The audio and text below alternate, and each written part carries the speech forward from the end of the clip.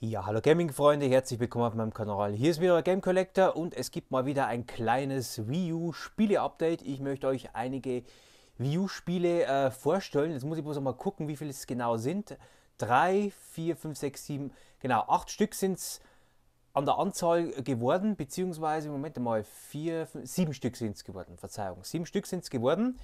Hier sind die bestehenden Wii U Spiele im Regal, die ich euch schon äh, vorgestellt habe.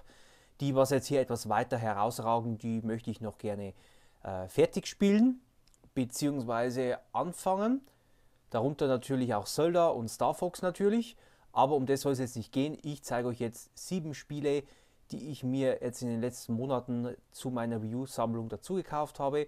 Plus es kommt nochmal was zum äh, Wii Remote Controller. Also viel Spaß beim Video.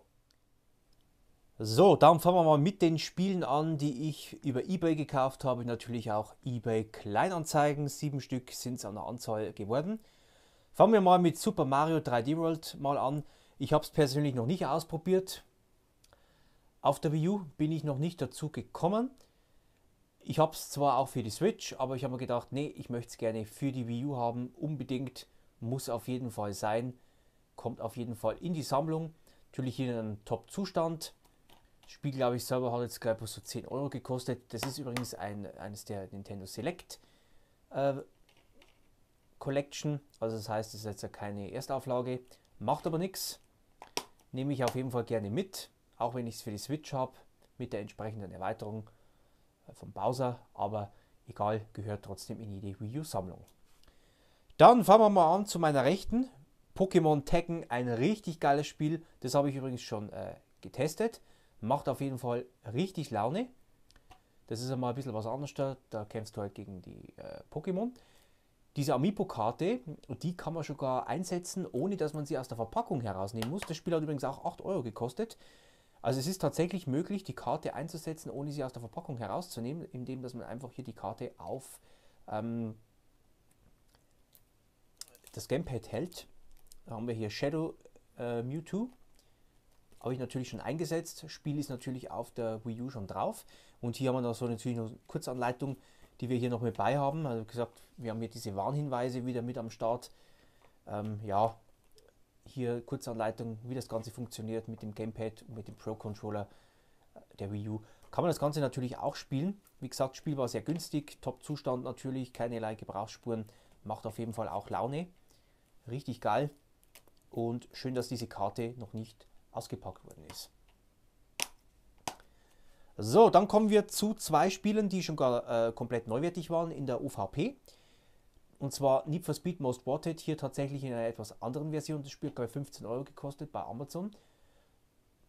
Und äh, es ist sogar möglich hier mit dem Beifahrer, also man kann zu zweit spielen, dass der Beifahrer sozusagen äh, dir hilft, wenn die Polizei dich verfolgt. Also es macht auf der Wii U auf jeden Fall schon mal wesentlich mehr Spaß. Ist also nicht irgendwie äh, plattformmäßig übers einfach eins zu eins übernommen worden, sondern man hat es tatsächlich auf der Wii U ein bisschen äh, geändert. Natürlich haben wir ja auch wieder eine leichte Kurzanleitung mit am Start, aber das sind eigentlich nur mehr Warnhinweise. Mehr ist es ehrlich gesagt auch nicht. Wie gesagt, neu bei Amazon gekauft für ca. 15 Euro. Nehme ich auf jeden Fall gerne mit. Und natürlich Call of Duty Black Ops 2. Hier in der PEGI-Version, leider nur in Englisch, aber hier ebenfalls sehr gut für die Wii U umgesetzt. Ich habe schon die erste Mission gespielt. Werde aber dann höchstwahrscheinlich dann auf der Xbox äh, Series X werde ich es dann spielen, weil halt da trotzdem die Grafik ein bisschen besser ist. Aber es macht verdammt viel Spaß.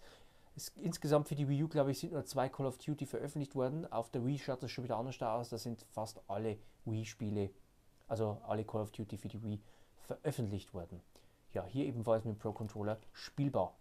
Es ist Gott sei Dank original. Ich habe schon mal bei Amazon bestellt gehabt, aber da war es äh, wieder total hinterlistig äh, verpackt. Und zwar, man hat einfach ein gebrauchtes Spiel genommen und hat es professionell verpackt. Hat man daran erkannt, weil es keine originale äh, Wii-Hülle war. Hier in dem Fall ist es ja eine Nintendo, so eine Reselt-Hülle. Und die war halt nicht original, das hat man sofort erkannt. Ja, und die Disc hatte auch Gebrauchsspuren. Deswegen ähm, ging es wieder zurück. Dann habe ich es nochmal versucht beim Händler zu bestellen. Diesmal hat es geklappt. So, jetzt kommen wir zu den drei letzten Spielen. Und zwar Splatoon ist jetzt der dritte Teil herausgekommen.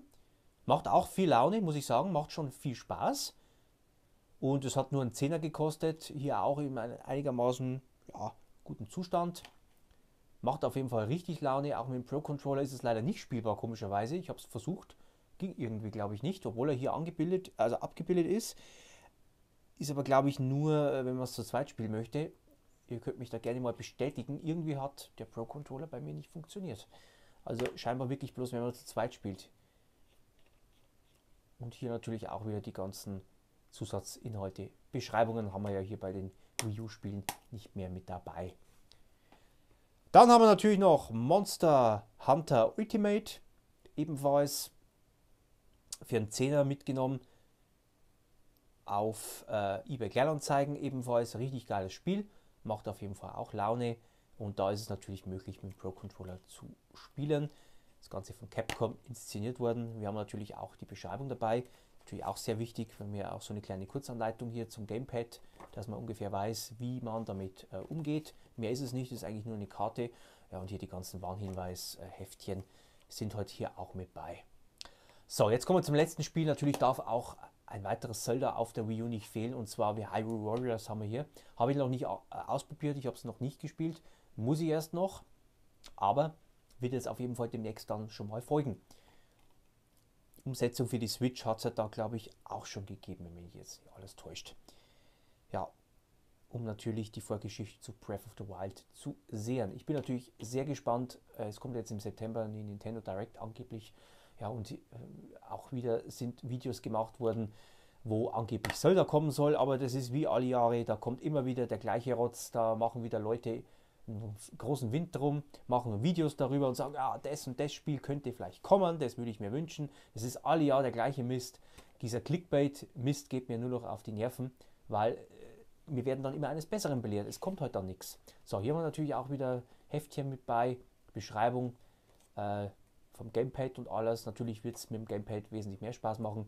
Natürlich auch hier mit den Remote Controller. Und wenn wir schon beim Remote Controller sind, legen wir mal die Spiele beiseite, denn ich habe natürlich mir noch einen weiteren äh, Remote Controller zugelegt. Ich muss mal hier schön äh, platzieren, damit ihr es äh, schön sehen könnt, die schönen Wii U-Spiele.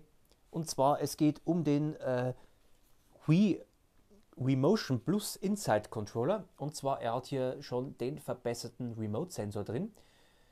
Komme ich gleich zu, was da der Unterschied ist. Hier im sehr guten Zustand, auch so 15 Euro hat der gekostet, natürlich nehme ich nur Originale. Der hat hier die Besonderheit, ich weiß nicht, ob es eine ältere Version ist, aber ich glaube, es ist dann die aktuellste und letzte neue Version. Denn hier ist der Syn Synchronik-Knopf, ist hier schon gar so ähm, hier an der Batteriedeckelabseite, also Seite, hier so ausgestattet, dass man einfach hier nur raufdrücken müsst. Dann drückt der hier den roten Knopf rein, damit man das Ganze dann auch sehr schön gleich mit der Wii oder beziehungsweise mit der Wii U äh, verbinden kann. Also das heißt, ich brauche hier nur dazwischen drücken und dann funktioniert es. Bei den älteren, es gibt dann noch eine ältere Version, auch der Wii Motion Plus Inside äh, Controller, wo dieses Feature noch nicht mit bei war. Das müsste wahrscheinlich dann die erste Generation gewesen sein. Das hier ist wahrscheinlich die letzte Generation. Aber wenn wir schon beim äh, Motion Controller sind, die passende Tasche zu dem anderen Controller, denn es gibt ja noch den speziellen Aufsatz. Und zwar, das ist der alte, hier mit dem Sensor.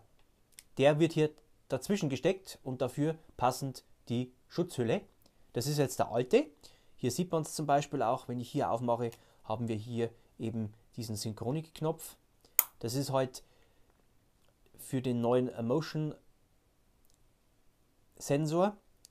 Gab nicht viele Spiele, die das unterstützt haben. Zelda zum Beispiel hat es unterstützt für eine bessere, bewegungsintensivere Steuerung. Das ist wie gesagt hier der Aufsatz dafür. Der wird dazwischen gesteckt und hier kommt natürlich der Nunchuk natürlich dann dazwischen. Aber natürlich können wir das Ganze auch entfernen, dass das Ganze dann wieder weg ist. Und das ist wie gesagt dieser Zusatzsensor, der hier herangesteckt wird, dass das Ganze dann auch funktioniert. Um natürlich Zelda Skyward Sword zu spielen. Man kann das Ganze aber auch ohne spielen, es funktioniert auch. Aber was mich hier zum Beispiel stört, ihr seht das hier diesen ganzen Klavierlack Mist, das ist einfach scheiße. Minimale Gebrauchsspuren, aber ihr könnt sehen, er ist in einem Top-Zustand. Und ja, ich habe halt jetzt ein paar Remote-Controller mehr. Würde aber trotzdem den hier bevorzugen, weil da braucht man das ganze Gedöns nicht, weil da hast du einfach das schon alles integriert. Und das ist halt eben der, was zeitgleich zur Wii U herausgekommen ist, damit das Ganze ein bisschen schneller und moderner läuft. Wie gesagt, es gibt nicht viele Spiele, die das Ganze unterstützen. Ja, ein schönes kleines Wii U Spiele-Update. Sind einige Spiele geworden. Ihr könnt es mal in die Kommentare schreiben. Ich denke, da sind Kultspiele für euch dabei. Die Spielesammlung von der Wii U, die ist ein bisschen überschaubar. Bei der Wii schaut es ein bisschen anders da aus, weil da gibt es wesentlich mehr Spiele. Also bei der Wii U ist es wirklich sehr überschaubar, muss man echt sagen. Aber na gut. Vielleicht ist für euch auch was dabei. Schreibt es mal in die Kommentare ob da für euch auch ein paar Highlights dabei sind und natürlich auch zum Remote Controller. Passend für die Wii U natürlich. Ein paar Wii-Spiele sind auch wieder in die Sammlung gewandert, aber die muss ich erst noch testen, die möchte ich erst noch ausprobieren, bevor ich dann die euch vorstelle. Und natürlich gibt es dann auch noch ein kleines Super Nintendo bzw. Nintendo 64 Spiele-Update gibt es da auch wieder. Aber die möchte ich dann auch nochmal, also die habe ich schon getestet, aber da muss ich das Video erst noch abdrehen. Aber wir haben ja genügend Zeit, weil es gibt jetzt dann demnächst bald keine schönen Tage mehr, wenn dann der Herbst kommt. Da habe ich dann wesentlich mehr Zeit für die ganzen Videos. Dann kann man sich das alles angucken. Gut, dann hätte ich gesagt, sind wir im Video durch. Ich hoffe, es hat euch gefallen. Ein kleines Wii U Spiele-Update. Wie gesagt, wenn es euch gefallen hat, lasst gerne einen Daumen hoch da, ein Abo und nicht vergessen, die Glocke zu aktivieren. Ja, und wir hören und sehen uns zum nächsten Video. Ciao.